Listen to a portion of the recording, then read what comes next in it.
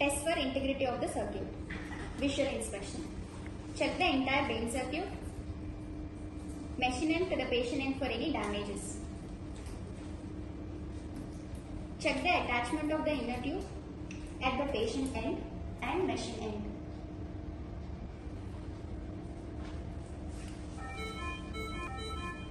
Check the APL valve for its functioning and spring action.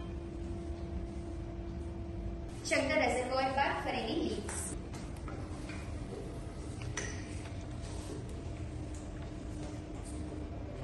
Next test is Pethick test. Connect the Bain circuit to common gas outlet. Close the APL valve fully. Occlude the patient end of the circuit that is outer tube. Fill the circuit with oxygen. Let the reservoir bag hang vertically downwards and let it be allowed to empty passively.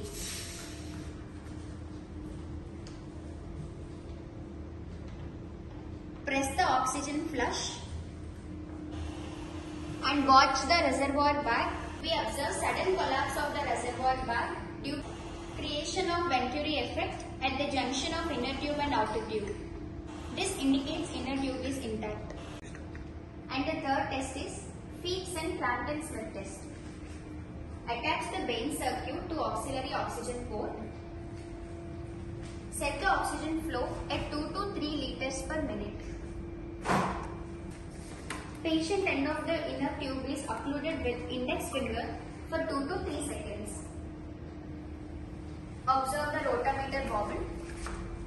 We observe a descent of bobbin due to back pressure on removal of the finger. The bobbin then descends to its original position. Dr. Gold suggested the use of flunger of 2 ml syringe for hygienic reasons.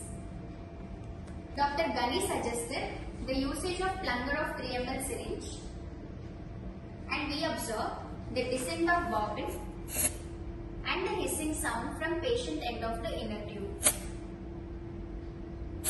This indicates inner tube is intact.